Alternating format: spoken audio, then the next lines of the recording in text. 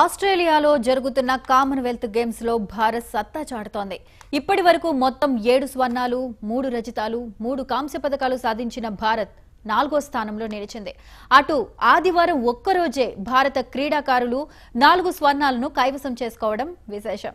భారత్కు పథకాల పంట పండిస్తున్న ఆటగాళ్ళను రాష్ట్రపతి రామ్నాథ్ కోవింద్ సహా పలువురు ప్రశంసల జల్లు కురిపిస్తున్నారు.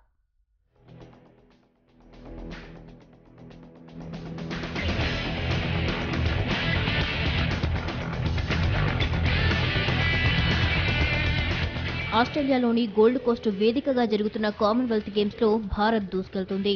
ఇప్పటి వరకు భారత్ గెలుచుకున్న పథకాల సంఖ్య పన్నెండుకు చేరుకుంది.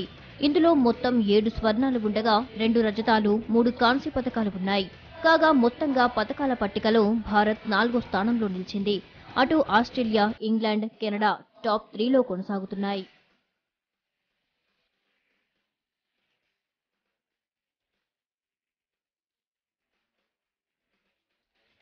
మరోవైపు టేబుల్ టెన్నిస్ టీం ఈవెంట్లో భారత్కు గోల్డ్ మెడల్ వచ్చింది. ఫైనల్లో సింగపూర్పై గెలిచి స్వర్ణ పథకాన్ని ఎగరేసుకుపోయింది.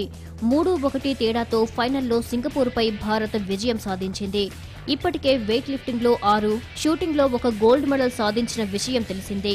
నాలుగో రోజే మూడు గోల్డ్ మెడల్స్ భారత్కు వచ్చాయి. ఆదివారం వెయిట్ లిఫ్టింగ్ షూటింగ్ టేబుల్ టెన్నిస్లలో ఒక్కో గోల్డ్ మెడల్ వచ్చింది. అటు పురుషుల హాకీలో మలేషియాపై నాలుగు మూడు తేడాతో భారత్ విజయం సాధించింది.